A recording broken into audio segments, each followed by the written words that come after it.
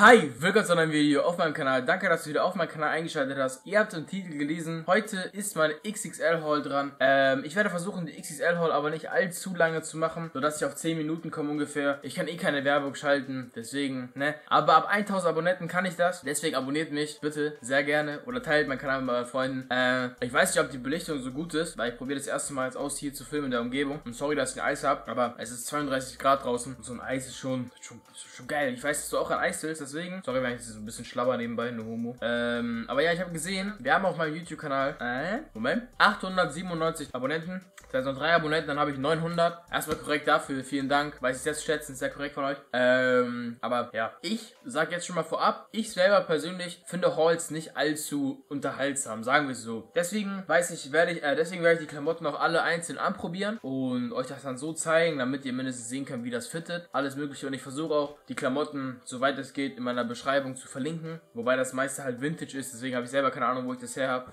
Also ich kann euch sagen, wie der Laden heißt, aber nicht, ob ihr das gleiche Piece findet, so. Und genau. Eigentlich brauche ich gar nicht mehr lange schnacken. Nur ich habe gerade ein Eis in der Hand, deswegen wird es ein bisschen schwierig, jetzt ein Video zu drehen. Wie kann man so ein Eis eigentlich essen, ohne dass es komisch aussieht? Ich würde vorschlagen, wir fangen einfach erstmal mit den Hosen an, weil die kann ich dann jetzt so schon mal jetzt zeigen mit einer Hand. Hol ich mal die Hosen jetzt. Fangen wir mal an mit einer etwas sportlicheren Hose oder mit einer Hose, die ich so noch nie gehabt habe. Und zwar ist das diese hier. Wie ihr seht, das ist eine Adidas Sporthose. Und zwar, das Besondere an dieser Hose ist, dass die ähm, quasi aus diesem Stoff besteht, der halt so mehr, äh, so wie so eine Regenhose. Wisst ihr, wie ich meine? Ich habe mal in einem Video gesagt, dass ich diese Hose cool finde, habe ich mir auch eine besorgt.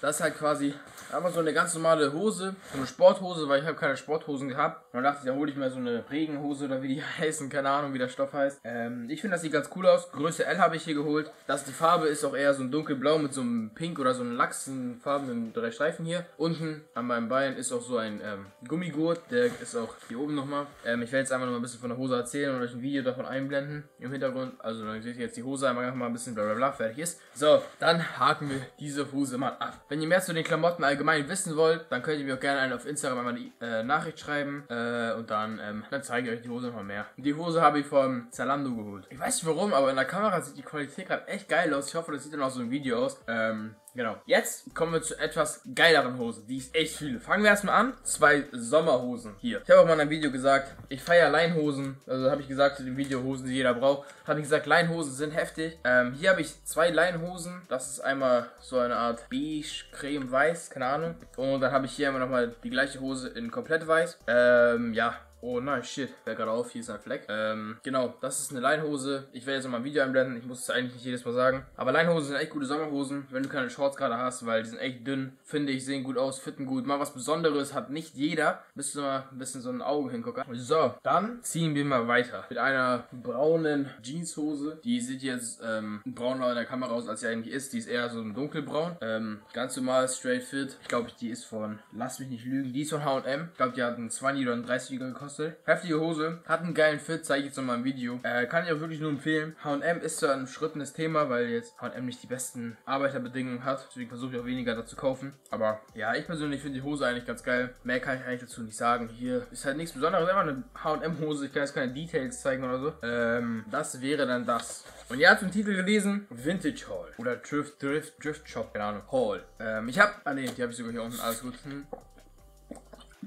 Ihr müsst immer viel trinken bei dem Wetter. Also, was ich sagen wollte. Jetzt habe ich nur noch Pieces, die Vintage sind. Und deswegen kann ich auch, nur halb sagen, wo ich die her habe. Aber fangen wir mal direkt an. Warum schneide ich nicht so viel? Kommen wir zu meiner aller, aller, aller Lieblingshose, die ich besitze. Meine Skatehose. Also ich... Die Hose ist ein Schatz, finde ich. Was ist das diese hier? Das ist meine Cargo-Hose. Die Hose meine Freunde, ist von Dickies, wie man hier lesen kann. Oder hier an der Tasche steht auch nochmal Dickies. Ich glaube, man sieht das. Die Hose hat ein Loose Fit. Baba-Hose, Baba bequem. Ist eine Arbeiterhose, geht echt nicht schnell kaputt. Beziehungsweise fast gar nicht. Ähm, wirklich, ich werde mal ein Video jetzt zeigen, wie die aussieht, wenn man die anhat. Aber ich finde, das ist ein Banger, die Hose. Wirklich, ich werde die, ich ziehe die so oft an zum Skaten. Ähm, Finde ich einfach geil. Ich kann euch allgemein die nur empfehlen, solche Hosen zu holen. Die Hose ist von ähm, einem Vintage-Laden aus Hamburg. Und zwar von Vintage Rex, hießen die, glaube ich. Vielleicht kennen das einige von euch. Wenn nicht, dann googelt das einfach. Vintage und Rax heißen die, wenn man das so aussprechen will. Ähm, genau. Finde ich geil, die Hose. Ich habe auch auf meinem Instagram mal ein Video hochgeladen mit der Taube, mit Larry, falls ihr das kennt. Absolutes Legenden-Video. Ähm, da hatte ich die Hose auch an. Sieht man auch, weil ich skaten war. Dann kommen wir zu noch einer Hose von Vintage Rex. Auch geile Hose. Ich liebe, ich liebe Vintage-Hosen so sehr. Diese Hose, auch eigentlich die ist dunkler als in dem Video jetzt angesehen. Man denkt sich jetzt, entspannt, ganz normale braune Hose, geiler Fit. Das Geile an der Hose ist, was ich persönlich fresh finde, ich weiß nicht warum, aber hier ist einfach so ein kleines Detail so hinten am Arsch quasi sind halt die Taschen. Hier und dann ist hier unten noch so eine kleine Mini-Tasche. Finde ich sie ganz geil aus. Die Hose, wer hat's gedacht, auch von Dickies, auch eine Arbeiterhose. Für die Hose habe ich ein 20 bezahlt. Ein 20 für eine Dickies-Hose, überleg mal. Das ist, das ist ein Geschenk. Also, ähm, finde ich richtig geil. Die Farben matchen auch irgendwie gut zusammen. Okay, man kann keine Hosen miteinander kombinieren, das ergibt keinen Sinn. Aber ich finde, ähm, allgemein dieses Farbschema, was ich mir ausgesucht habe, für den Herbst wird das so heftig werden. Ich werde so viele geile Herbstbilder haben, ne? Weil das sind einfach so Herbstfarben und das finde ich so heftig. Also, finde ich heftig, finde ich heftig, finde ich heftig. So, dann gehen wir weiter zu einem Vintage Pullover. Den werde ich mal kurz überziehen. Vintage in dem Sinne nicht von einem Vintage Store, sondern von meinem Vater aus dem Kleiderschrank. Wie man hier sieht, Deutsche Bank Zeichen. Dann haben wir hier ein Adidas Zeichen. Hat persönlich gesagt, war das richtig? Finde ich persönlich einen heftigen Fit. Auch wenn der sehr oversized ist weil mein Vater halt größer ist als ich. Aber wenn ich ein bisschen noch reinwachse, ein bisschen breiter werde, dann müsste der mir eigentlich sehr gut passen. Finde ich auch geil, kann man gut zum Skaten anziehen, sowas. Finde ich heftig. Also ich kann dagegen nicht sagen. Ähm, ja, hier muss ich jetzt nichts einblenden. Ich kann euch diesen Pullover einfach so zeigen vom Fit her. Der ist halt hier echt sehr gut groß, aber was soll's, ne? Ich hätte noch mal so einen ähnlichen Pullover von Fila, dann ist hier so ein Fila-Zeichen, finde ich auch gut. Ähm, den habe ich jetzt nicht hier, weil er jetzt in der Wäsche ist. Aber genau. Ich mache einfach direkt weiter. Wir machen jetzt einen Baba-Übergang. Ich weiß, ich schäme mich ein bisschen. Ah, na, ich, mach, ich mach's lieber nicht. Ich mach's lieber nicht. Komm, stopp. I will not do it. So, dann tue ich den Pullover weg. Ihr müsst wissen, dass meine ähm, Klamotten hier bei mir im Zimmer schon seit ein paar Wochen liegen und ich immer wieder diese Haul machen will, aber mich nie selber überreden konnte, endlich eine Haul zu machen. Aber kommen wir zu einem Vintage-Pullover, den ich auch bei Vintage Rex gekauft habe. Ja, ihr merkt es, der Laden ist echt heftig. Und zwar ist das der hier. Das ist einfach ein Crewneck von äh, Columbia. Ja, ja, kann man mehr oder weniger sehen. Heftiger Fit, dicker Stoff. Ja, ziehe ich auch kurz einmal an. Der passt so gut zu meinen Dickies-Hosen, zu meinen beiden. Es ist, passt unglaublich gut, muss ich zugeben. Ich würde echt gerne mal so ein paar Instagram-Bilder machen, aber ich bin irgendwie nicht so aktiv auf Instagram. Ähm, deswegen, ja, keine Ahnung, vielleicht irgendwann mal. Äh, hier, der hat nicht so ein Loose Fit, finde ich geil, habe ich auch für einen 20 bekommen. Das ist ein geiler Pullover, Bruder, kann man nicht sagen. Ähm, gefällt mir sehr. Im Herbst werde ich den sowieso richtig rocken. Und ähm, allgemein, ich kann Vintage-Klamotten wirklich nur jedem empfehlen. Es ist mehr oder weniger, kommt auch an, was du holst, günstiger als normale Klamotten. Und ähm, das ist halt mehr so recycelt, mehr, nicht wie recycelt, wie kann man das sagen? Du, ähm, keine Ahnung, du kaufst halt keine Klamotten, wo die irgendwelche Kinder arbeiten müssen oder so. Also vielleicht schon, aber die haben ja schon jemanden gehört, das heißt, du kaufst einfach nur weiter. Also ist es nicht so schlimm, hätte ich jetzt gesagt. Korrigiert mich, wenn ich falsch liege. Ja. Machen wir aber direkt weiter mit auch einem Pullover von Vintage Rex. Ne, ihr checkt, ihr checkt. Und zwar ist das dieser Crewneck hier. Da drauf steht Sixu. Sixu. Äh, ich weiß nicht, was das heißt. Ich hoffe, das heißt nichts. Ähm, ne, was ich gerade denke, was das heißt. Aber auch Stoff sieht heftig aus. Da sind so ähm, kleine Paddern drinne, quasi, wenn ich das richtig gesagt habe. Innen drin ist er sogar gefüttert, sehe ich gerade mehr oder weniger. So ganz leicht, finde ich heftig. Also ich finde Herbst, ich freue mich schon so auf den Herbst, diese Klamotten anzuziehen. Ähm, ich ziehe den kurz über.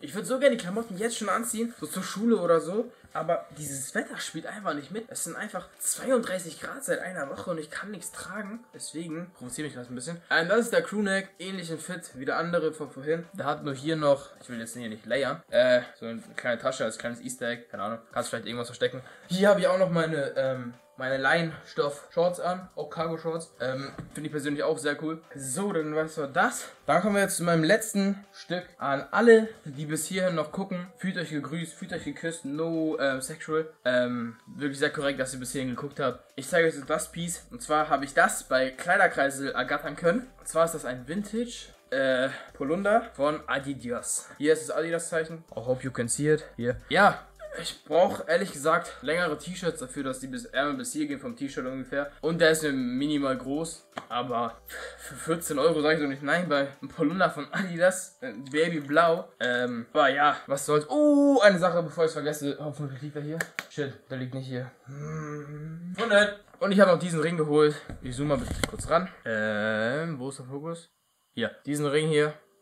Den. Den. Das ist ähm, ein Naruto-Ring, also von Akatsuki, von Pain. Wer weiß, der weiß. Ähm, ich gucke leidenschaftlich Anime, deswegen dachte ich, der Ring ist ganz cool. Und ich Also ich fühle den Ring mega. Also ich weiß nicht, was er an dem Ring auszusetzen hat. Für 4 Euro. 4. Überleg mal. Und der färbt nicht ab. 4 Euro und der färbt nicht ab. Finde ich persönlich, ist ein Schnapper. Kann man nicht nein sagen. Aber das war's dann mit der Haul. Ich hoffe, das Video hat euch gefallen. Falls ihr irgendwann noch eine Haul sehen wollt, dann lasst gerne 80 Likes da. 80 wären heftig. Ähm, ich war in letzter Zeit eher inaktiv. Ich weiß, es tut mir leid. Aber ja, 80 Likes wären heftig, aber wenn nicht, dann auch okay. Meine Videos mit ähm, Next Time Clothing gehen auch bald weiter. Das war's dann mit dem Video. Lasst ein Like da, abonniert mich gerne auf YouTube und Instagram und äh, überall anders und tschüssi!